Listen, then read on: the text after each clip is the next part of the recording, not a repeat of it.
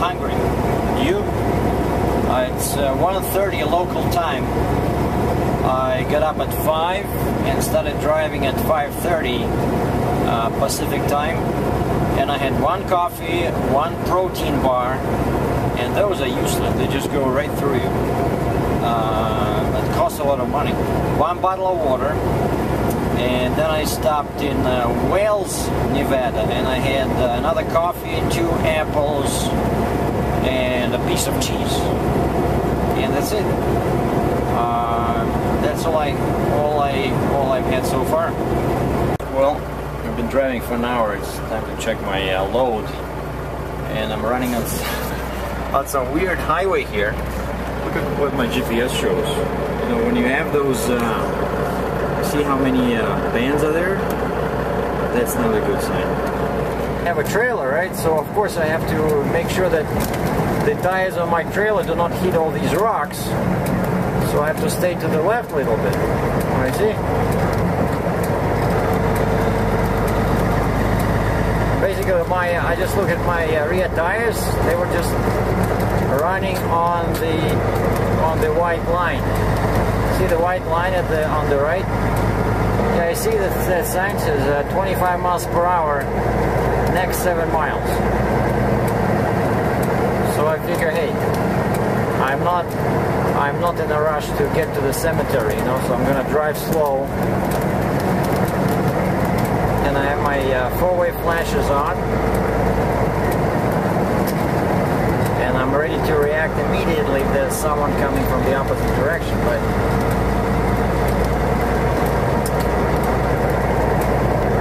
and there's a river on the left. I guess that's why this uh, road uh, twists and turns so much because of the river. Like you have river on the one side and you have these big rocks on the other side. So, you know, the, for the road, there's nowhere to go, of course, unless they were willing to do a lot of blasting. Just honk my horn just to be on the safe side.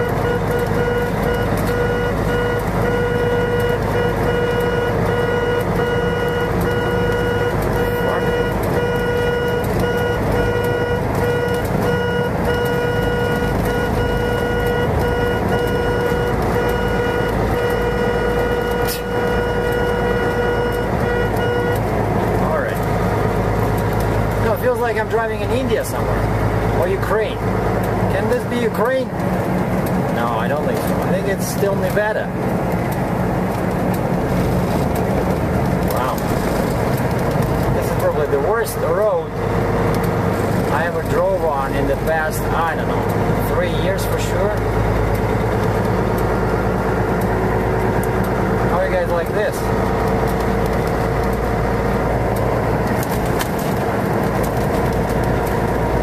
there's no other way, you know, unless I wanted to go back to uh,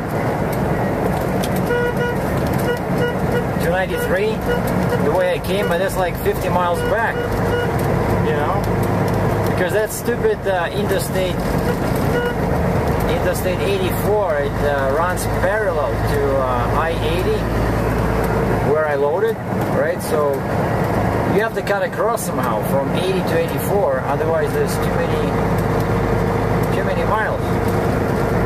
Of course, when you drive at 25 miles per hour, it doesn't help much uh, in terms of fuel economy.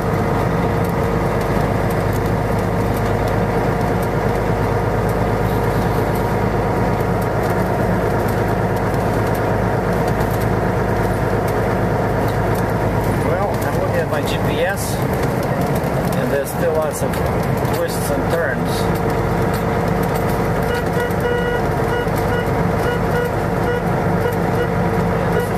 exciting stuff, you know.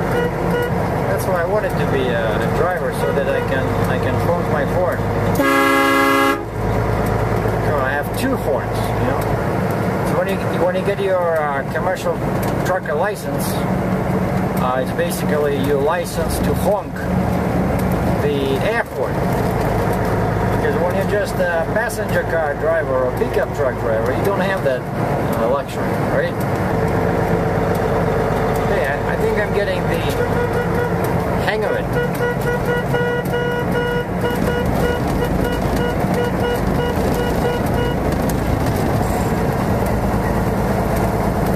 got my uh, Jake brakes on. Maybe gonna you see how tires on the right. You see uh, marks of tires on the on the soft shoulder. So that's never a good sign. That means that people were avoiding sound from that direction. And that's what I find you know really helps when you're a truck driver. You you watch you watch the ground uh, you know for marks of tires like big trucks. All right. I think uh, it's still like five miles. I think now there's going to be a couple uh, really bad turns I'm gonna pause the recording. maybe I'll keep shooting. Yeah, I'll keep shooting, and uh, we can always cut and paste, right?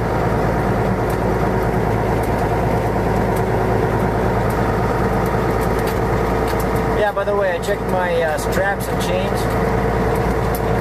Uh, one strap was loose on that uh, tank because it moved and because of that it became uh, loose because the tank is round right? And also I, I got I took my tarp and I put it on top of that skid in the front.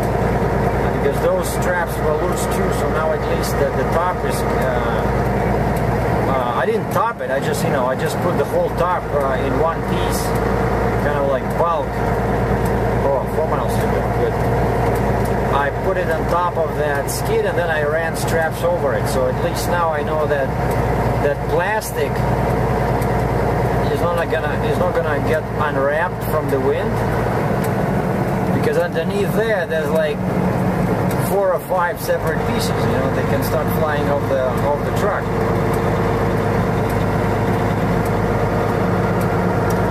Of course, people here, you know, they they drive like I don't know what 50 miles per hour. fuck it, you know, I'm not gonna... Yeah, now they're gonna do a very bad turn. I'm looking at my... Look at this.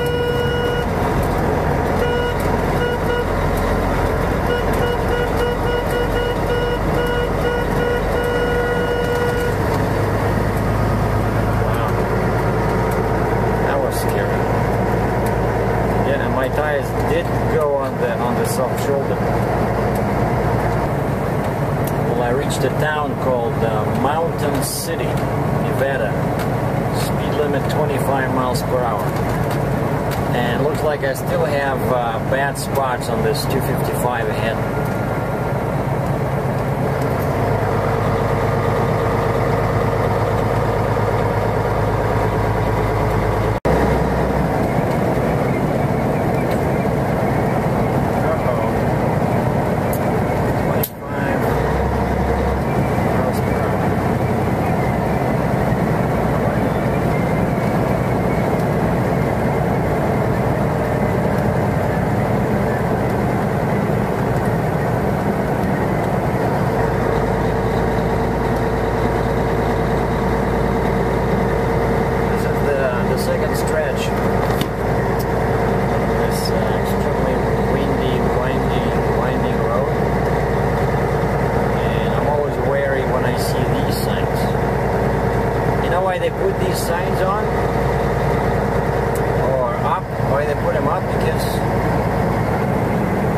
someone got into an accident here.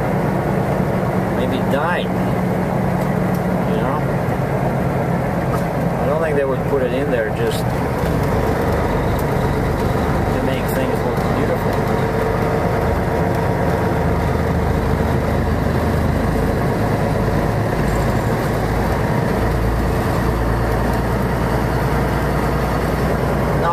if I knew that this this road would be like this, I would never go here. That, well, according to my uh, GPS, I'm approaching the border between uh, Nevada and uh, what is it, Idaho? Mountain.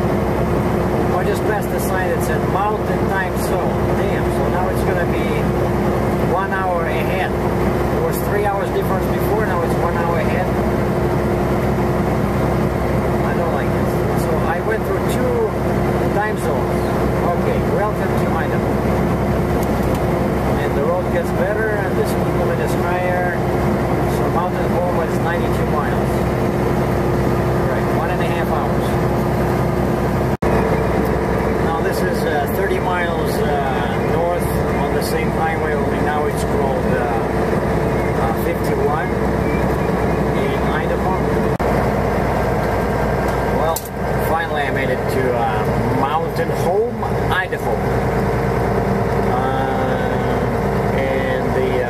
Interstate 84 is somewhere just around the corner.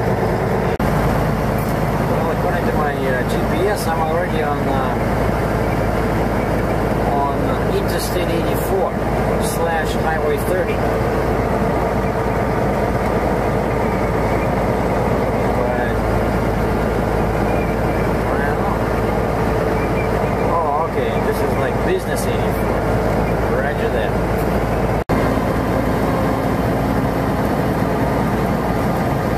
Well, finally, after like, I don't know, four hours, I see the uh, interstate, I see the signs. It's 84, 20, 26, 30. Boise, Idaho, go straight. Keep left. Interstate 84 westbound. US 20 westbound. US 26 westbound. US 30 westbound. Towards Boise. Then, take the freeway.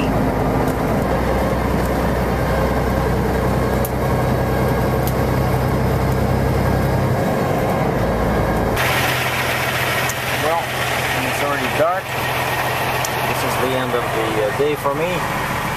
Um, had enough excitement for one day. I'm sitting at a Choke and Puke in Boise, Idaho, in uh, line to get some fuel. And the plan for today is, uh, for tonight is uh,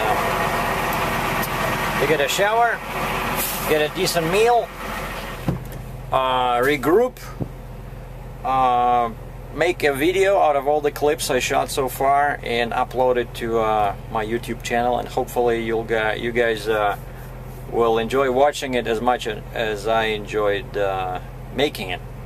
So my trip to uh, British Columbia will continue tomorrow.